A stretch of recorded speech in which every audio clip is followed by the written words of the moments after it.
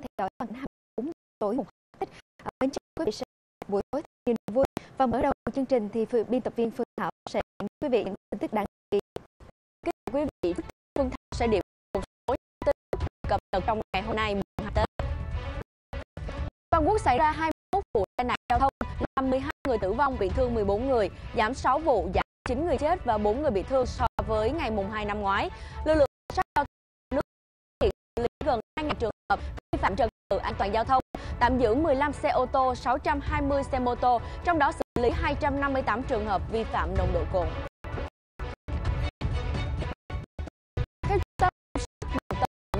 Ngành chức năng địa phương đã xác định có 366 người liên quan đến 20 trường hợp F1 làm việc tại công ty GM